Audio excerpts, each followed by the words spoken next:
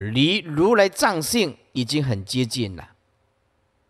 它叫做第二月啊，天上一个月亮，哎，我们稍微眼睛啊一扭的时候啊，啊，眼睛啊一捏，哎，看到两个月亮，哎，把它眼睛一放，哎，恢复到一个月亮。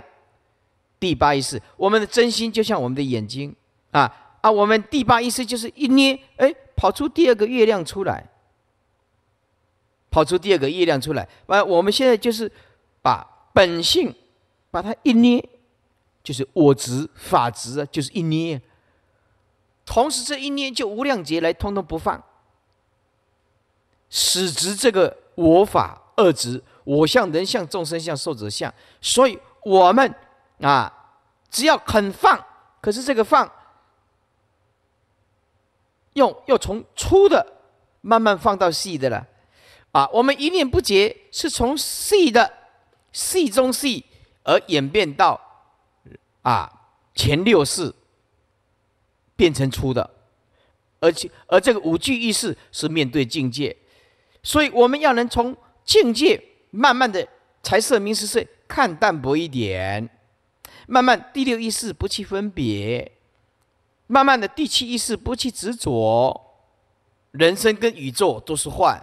慢慢的，再恢复到第八意识的维系。那个维系的时候，当你进入禅三昧的时候，就发现我们的维系上面很难去控制它，就是抖动的很厉害，就执着的很厉害啊。就表面上看呢，这个人很有修养，已经修习了佛道啊，十年、二十年，那是因为你的理念呢啊，跟他还合得来。要是碰到他内心里面对某一种事情坚固执着的时候，你会发现他的内心深处像波涛汹涌的一直在抗拒着，而抗拒的人本身虽然有很大的涵养，受后天的教育。把可以自己粉饰到啊，让你看不出来。可是他内心里面崩坏不满，因为碰到了逆境。从古始节以来，大家都顺他，现在要逆，一下子没有办法接受。你就会看到我们内心里面那种震动，不满的震动，叫做维系意识，那个是很难很难的。包括我们不要说觉察到第八意识、第七意识。的维系的法子，那要八地菩萨以上才有办法。我们就讲着说，我们连晚上睡觉做梦不执着都控制不住。好，我们白天五根攀岩六层，我们可以控制得住，可以控制得住。但是呢，我们一到晚上睡觉，叫做梦中独头意识，一睡下去的时候，潜意识就浮现，第八意识的种子就显现出来。所有的记忆，善的、恶的种子，无记的种子，它就会一直涌现出来。深层意识那个前六世都没有攀再攀岩境界了。晚上睡觉叫做梦中独头意识，这梦中独头意识从哪里来？从第八意识的见分产生独自的影像。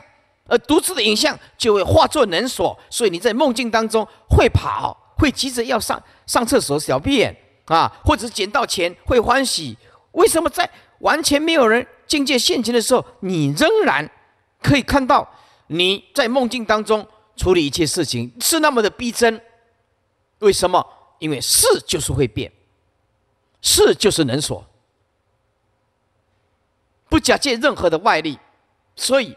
当你进入修行的状况的时候，为什么了解说智者无梦？佛陀没有做梦。为什么讲智者无梦？佛陀没有做梦，因为没有妄想颠倒，无名全断了，习气全断了，梦想颠倒通通没有了。般若波罗蜜多心经啊，心无怪无怪故，远离颠倒梦想。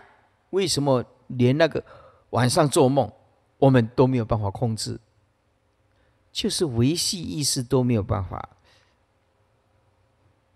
你就知道修行可不是说着玩的啊！念两三句佛就叫做修想，开一点点波的智慧就说我不错了，哎，又团前不知道佛有多么的了不起的深沉的楞严大定，一切境界都莫可奈何，如来都可以做得了主，包括晚上休息，佛陀一觉安详自在，从来不做梦。答案就是这样子。底下说：“能生诸言言所依者，我因为我们就动念，动念它就是能所不断，言所依者。啊，这能生诸言是什么意思呢？就是 能所不断，诸言就是相分。啊，言所依者也，为什么言所依者呢？因为清净体迷失了。”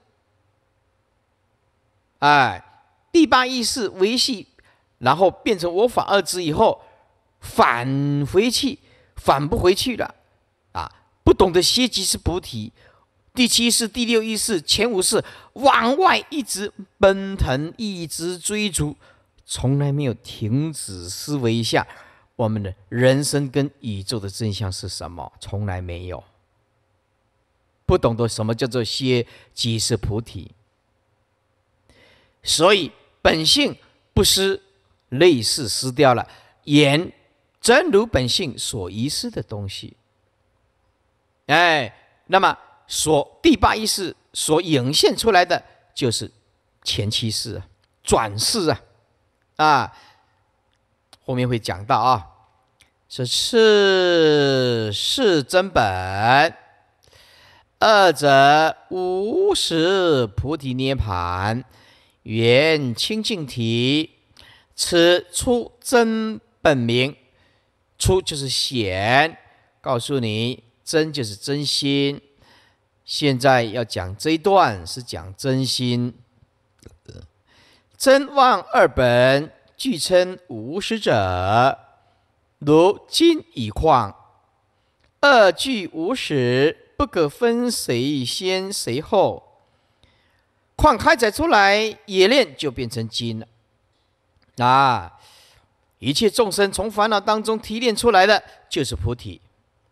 菩提一言绝道有三，有三：一曰真性菩提，此以理为道，也就是众生的本觉法身之理呀。什么叫法身呢？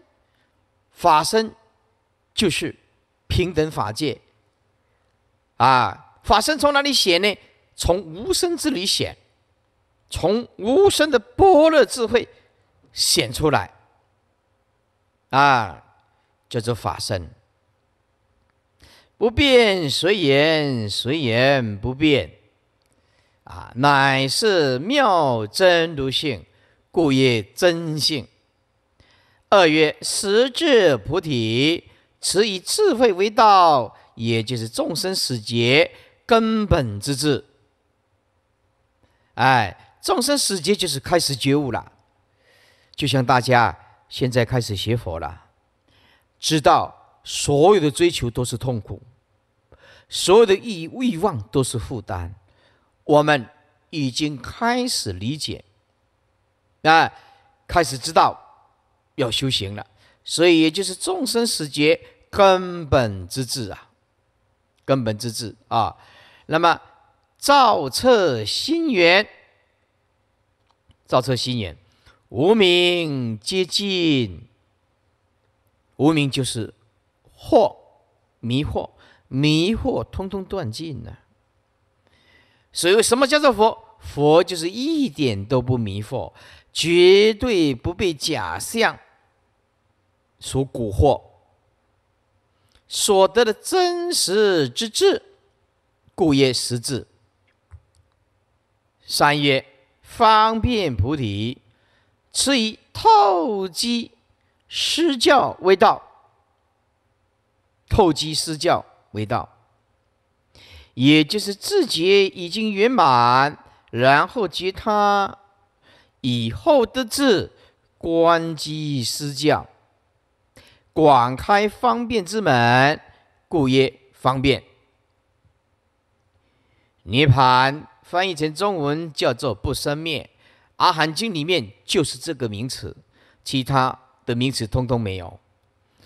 在《阿含经》里面，你也不可能看到如来藏这个名词，也看不到真如这个名词，也没有什么一真法界、究竟实相、地义地啊、实相无相无不相，《阿含经》通通没有这些名词，只有涅盘两个字，这个名相。所以涅盘亦不生灭，也就是三。一曰性净涅盘。自性清净，一尘不染，所以叫做性净。二曰圆净涅盘，是真无不圆，就是真心无一不是圆满，妄无不净，所有的妄都转世成智，都变成净了。无不净就是净了，所有的妄都转成净喽。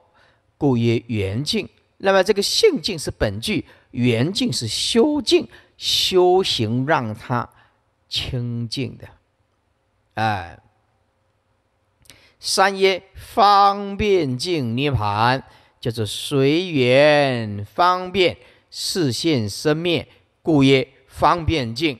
这个也是修，修持使他得到方便净。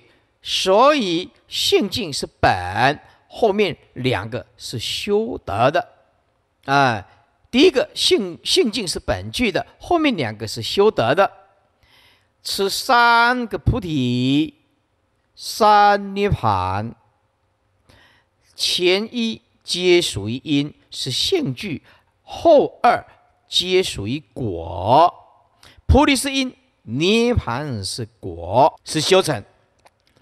在这里，啊，也讲了一段《华严经》有一句很重要的话，啊，在《华严经》里面说：“若无大悲心，则无菩提心；则无若无菩提心，则不得佛果。”啊，说何为大悲心者？是一切众生如同己子，就是像自己的儿子，名为大悲心呢。所以这个修习方法还是有次第的。啊，意思就是说，如果一个人他没有悲心，悲就是拔众生的苦的心。如果一个修行人，他本身面对一切众生，没有发这个救拔众生的苦难的心，第一个他就是没有菩提心。菩提心就是想要救众生的苦啊。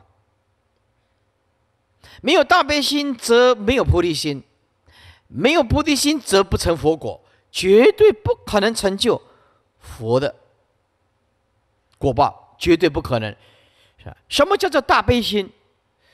必须把所有的现在你前面的一切众生，无论男女老幼、健康残障的，都视为己子，就要把它当做。是自己的儿女一样的救他，所以为什么说佛陀有无尽的大悲心？啊，佛陀看到众生绝不起厌恶的，啊，佛陀也啊，跟佛陀唱反调的，佛陀认为那是他的真上言。广清老和尚讲的，给你二一年的，就像拿钱给你赚。对不对？拿钱给你赚，广清老和尚说：“啊，给你逆境的，就是要给你钱，而你这个钱不懂得赚，却跑去向别人哭，啊，多么的愚痴啊！哎，所以用感恩的心，啊，感谢上苍我所拥有的，也感谢上苍我所没有的，感谢众生随喜赞叹我的，也感谢众生给我痛苦的人。这个是佛陀的指示。”啊，如果有的人来啊，到我们这边，到这个师傅这边说：“慧律法师，我很恨你，你知道吗？”我就会跟他讲：“这样你很痛苦，这样你很苦啊。”如果有的人啊来到慧律法师面前说：“啊，哇，师傅你很了不起，你弘扬佛法，转大法轮，我随喜功德。我会跟他讲，你这样会活得很快乐。